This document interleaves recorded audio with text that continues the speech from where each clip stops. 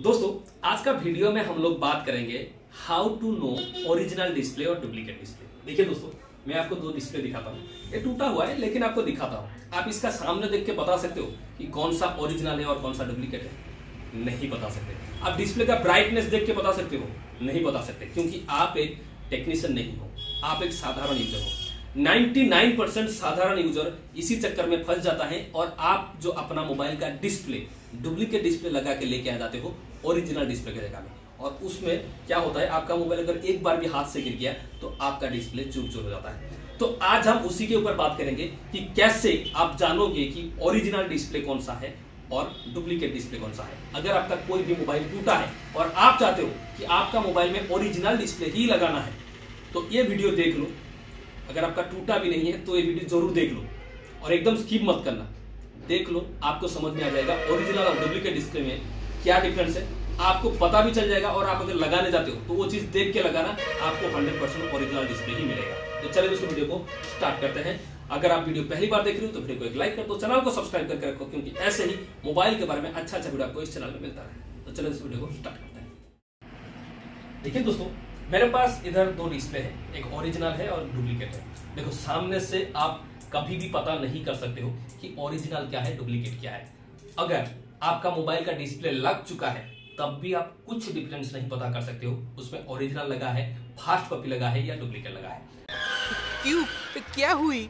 अगर आप अपना मोबाइल का डिस्प्ले टूट चुका है और आप जा रहे हो किसी भी रिपेयरिंग शॉप में ओरिजिनल डिस्प्ले लगाने तो ये वीडियो पूरा देखो। अगर सर्विस सेंटर में लेके जा रहे हो तो कुछ भी देखने का ज़रूरत नहीं है। सर्विस सेंटर में आपको 100 परसेंट ओरिजिनल ही मिलेगा। लेकिन अगर कहीं पे बाहर में जा रहे हो और बोल रहे कम पैसा में ओरिजिनल लगा देगा तो ये वीडियो देख के जाओ।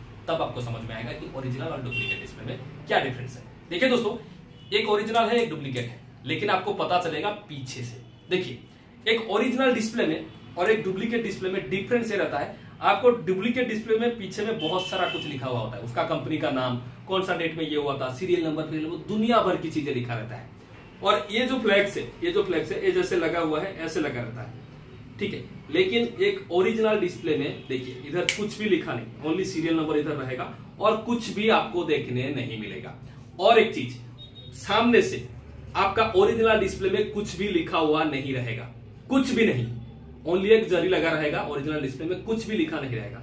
लेकिन डुप्लीकेट डिस्प्ले में आपको बहुत सारा कंपनी का नाम लिखा रहेगा, उसके ऊपर स्टिकर लगा रहेगा। Hundred percent original hundred percent diamond quality hundred percent मतलब जो भी है जो लिख सकते हैं वो लोग लिखेगा। ठीक है? लेकिन ओरिजिनल में कुछ भी लिखा नहीं रहेगा मतलब आगे भी नहीं रहेगा और पीछे भी नहीं रहेगा। ये हंड्रेड परसेंट है। और एक चीज़, अगर आप बॉडी के साथ ओरिजिनल लेना चाहते हो मतलब बॉडी के साथ एक आता है तो वो 99 परसेंट केसेस में डुप्लीकेट भी चिपका के मतलब चिपका के देते हैं। आपको पता नहीं चलेगा। तो जिस भी बॉडी को आप लेते हो ओरिजिनल बोल के, उसमें सब कुछ फिटिंग रहना चाहिए। ए टू जेड मतलब उसका माइक स्पीकर ओरिजिनल में लगा हुआ आता है। डुप्लीकेट में नहीं लगा हुआ आता है। तो आप अच्छा से समझ लो, अगर आप नॉर्मली किसी दुकान में जा रहे हो डुप्लीकेट डिस्प्ले या तो ओरिजिनल डिस्प्ले लगाने तो ये चीज़ आप ध्यान रखना मतलब है कि गवार से गवार आदमी भी ये चीज़ देख के समझ जाएगा कि ओरिजिनल कौन सा है डुप्लीकेट कौन सा है। ये देख लिया, उसमें कुछ भी लिखा नहीं रहेगा, और अगर गूगल लेंस निकल के बारकोड स्कैन करोगे, तब भी उसमें इन्फॉर्मेशन भी निकलेगा। कौन सा मॉडल है, कौन सा तारीख में मैन्युफैक्चर है, सब कुछ डिटेल से निकलेगा। और देखिए, इसका दोनों का दिखा रहा हूँ, देखिए डिफरेंस क्या है? ये कैसे पैकिंग हुआ है? ये कैसे देखिए टेप लगा हुआ है और ये डुप्लीकेट कैसे लगा हुआ है? ये आपको समझ में आ जाएगा। ओरिजिनल डुप्लीकेट ओरिजिनल हमेशा ओरिजिनल होता है। डुप्लीकेट हमेशा डुप्लीकेट होता है। तो आपको समझ में आ चुका होगा मैं क्या बताना चाहता हूँ। अगर आपको ये वीडियो, ये जानकारी अच्छा लगा है तो वीडियो को ज़रूर एक लाइक कर देना। इस वीडियो को ज़्यादा से ज़्यादा आप लोग का दोस्तों के साथ शेयर करना। और अगर आपको ये वीडियो जानकारी अच्छा लगा है तो चैनल को ज़रूर सब्सक्राइब भी कर लेना। ठीक है दोस्तों तो वीडियो को पूरा देखने के लिए धन्यवाद। जय हिंद दोस्तों।